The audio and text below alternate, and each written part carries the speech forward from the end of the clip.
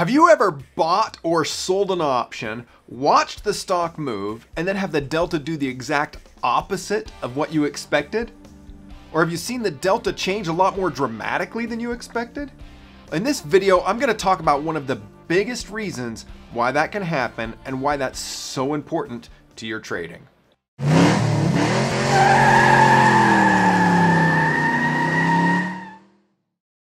A lot of traders use Delta in their trading. They use it as a strike selection tool, a profit and loss forecast, a hedge ratio, and as an estimate of probability.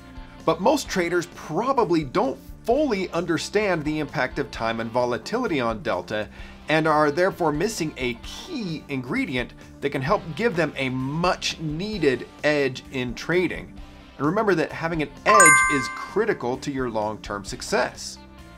In this video, I'm going to focus on the time component of delta and try to explain it in a non-mathematical and intuitive way. I'm going to lay some basic groundwork and then at the end, I'll explain why it matters so much to your trading. Well, if you're not familiar with the basics of delta, feel free to ask questions in the comments section of this video and we'll do our best to help you out. You can also catch us in the links in the description below. To explain the impact of time on delta without getting too deep in the math, I'm going to focus on using delta as an estimate of probability. Well, the probability of what? The probability of an option being in the money at expiration. Now I know I'm going to have somebody out there in the comments correct me, and they're going to explain that delta isn't really a probability of whether an option will be in the money at expiration. Now, I want to clarify that I do know and understand this. But in the real world, especially on short dated options, delta is close enough to the probability that most traders use it that way. Professional market makers, hedge funds, the, the, Chicago Board Option Exchange, the OIC, and most major brokerage firms are okay with that definition, and so am I.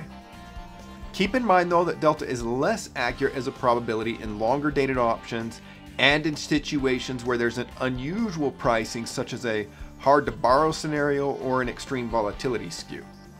The delta for an at the money option is normally going to be right around 50. Now think about it this way.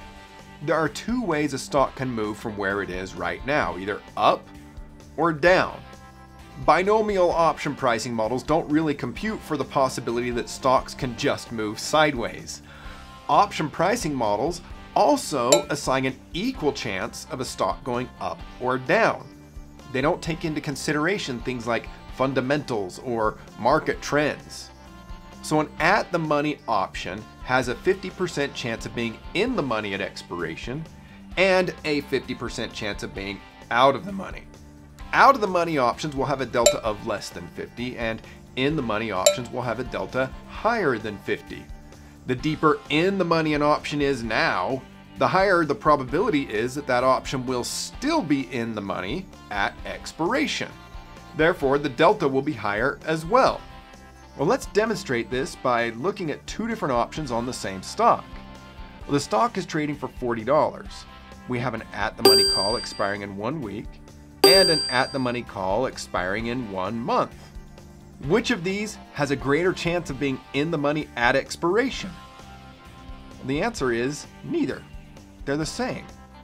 As I explained earlier, according to option pricing models, the stock has an equal chance of going up or down. And therefore, both of these options have a delta of about 50. In other words, these options have the same statistical probability of being in the money at expiration, and time is not really a factor in their delta. But what if we look at a different strike price? Here we have an option that is deep in the money with only one week to go. We also have another option with the same strike price that has a month until expiration. Now think about this one. Which one of these options has a greater chance of still being in the money at expiration? Before I answer that, let me draw some lines on the screen. Here's the potential range that the stock is expected to move. In the real world, this range shows up as implied volatility, but I'm going to save that conversation for a whole other video, and we'll just keep this one simple. As you can see, the stock could move much further in one month than it could in one week. Therefore, the option with only a week left has a much greater chance of staying in the money until expiration, even if the stock starts to move against it. Therefore, an option that is in the money with less time will normally have a delta much higher than the same strike price with more time. The effect is opposite on out of the money options. An out of the money option with more time should have a higher delta than the same strike price option with less time. Now here is where this information becomes useful from a practical application standpoint.